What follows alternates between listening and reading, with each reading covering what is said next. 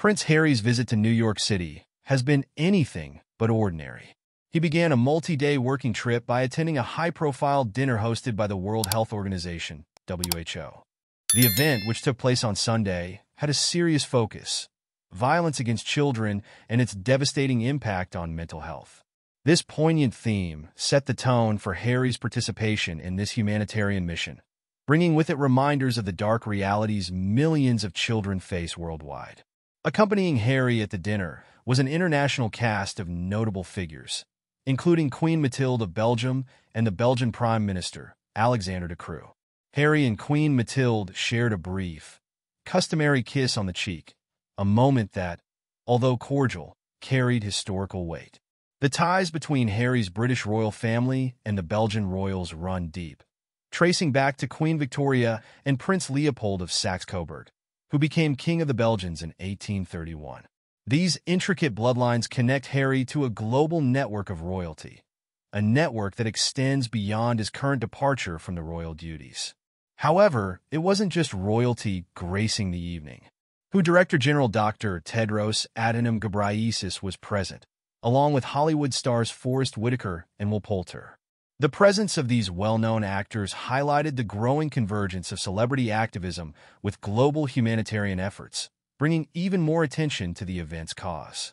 For Harry, this visit marks more than just a royal obligation. Since stepping back from his senior royal duties and moving to the U.S., he has been deeply engaged in various causes, especially mental health. His appearance at this dinner and his upcoming engagements during the UN General Assembly's high-level week as well as Climate Week, signal his enduring commitment to making a difference on a global scale. His time in New York will also see him reconnect with organizations he has remained closely involved with, further solidifying his transition from traditional royal roles to a more activist-driven path. Despite the high-profile attendees and the significant cause being addressed, the dinner did not fully escape the shadow of Harry's controversial departure from royal life. The looming question, how will Harry redefine his role on the world stage, particularly in settings that once primarily belonged to traditional royalty, permeated the evening? Many wonder if his attendance is a statement of his personal commitment to global causes, or if it is a strategic effort to maintain the prestige and influence that comes with being a royal.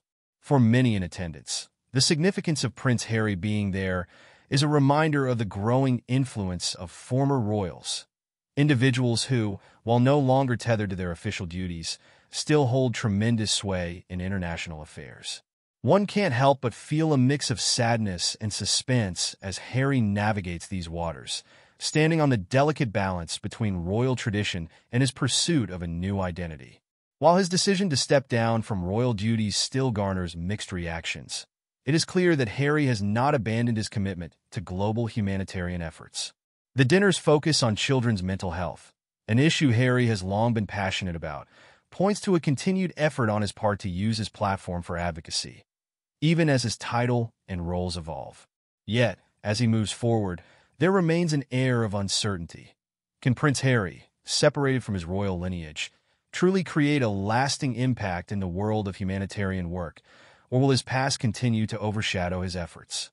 As Harry continues his engagements in New York, including attending Climate Week, the global community is left to watch his next moves with curiosity. His role as an independent advocate for causes that once intertwined with his royal duties is still unfolding, and with each appearance, he shapes the narrative of his post-royal life.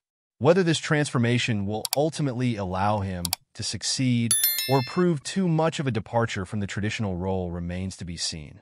What is certain is that Prince Harry, once known as the rebellious royal, is now navigating a more complex, yet still deeply personal path.